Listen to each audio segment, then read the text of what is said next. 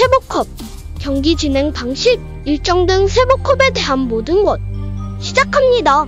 첫 번째, 월별 파이널 2021년 클래시 로얄 리그 방식을 참고해서 만들었습니다. 이름 그대로 월별 파이널 각 월별로 각 월말에 진행되게 됩니다. 4월 월별 파이널, 5월, 6월, 7월, 8월, 9월, 10월, 그리고 와일드카드까지 각 월별 파이널에서 우승한 분은 12월에 열리는 월드 파이널 진출 티켓을 확보하게 됩니다. 그럼 월별 파이널이 어떻게 열리는지 알아보도록 하죠. 우선 각 월별 중순쯤에 예선전이 개최됩니다. 예선전은 토너먼트 방식으로 생방송으로 진행되며 생방송에 토너먼트 이름과 암호가 표시됩니다.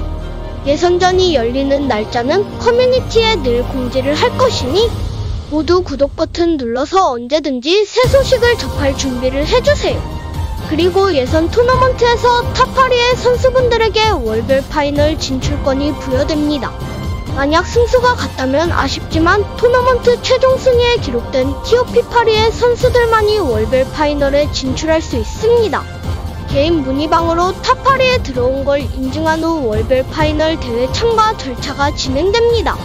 월별 파이널 대진표는 토너먼트 1위 vs 8위, 2위 vs 7위, 3위 vs 6위, 4위 vs 5위 이렇게 진행됩니다.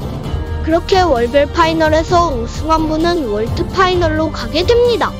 잠만 그럼 이런 질문도 나올 겁니다.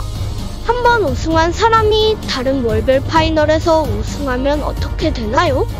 네, 맞습니다. 이미 월드 파이널 진출권은 얻은 분이 또 월별 파이널에서 우승하면 어떻게 될까요? 그래서 준비했습니다. 바로 와일드카드.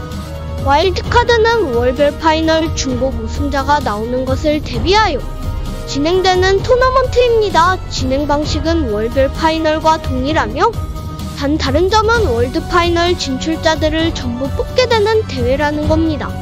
쉽게 말해서 만약 월별 파이널에서 중복 우승으로 6명만이 월드 파이널 진출을 확정지은 상태라면 와일드카드에서 2명의 선수를 뽑게 됩니다. 이렇게 와일드카드까지 진행해서 월드 파이널로 가는 선수는 총 8명. 이 8명의 선수들이 우승을 노리며 싸우게 됩니다. 월별 파이널, 와일드카드, 월드 파이널은 모두 BO 3개월로 진행되며 챔피언 카드가 사용 가능합니다.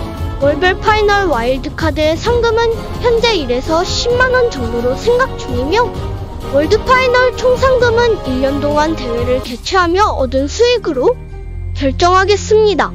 그러니 모두 구독, 좋아요 눌러서 다른 사람들도 볼 수 있게 합시다. 혹시 궁금한 점이나 물어볼 게 있으시다면 댓글로 물어봐 주시고 자세한 건 커뮤니티에 공지하겠습니다. 그럼 모두 월별 파이널에서 만나요. 아 그리고 이거는 네, 클래시로얄 대회이고 그 이제 현재 다른 게임도 생각 중인데 모바일 레전드랑 이제 베드워즈 생각하고 있습니다.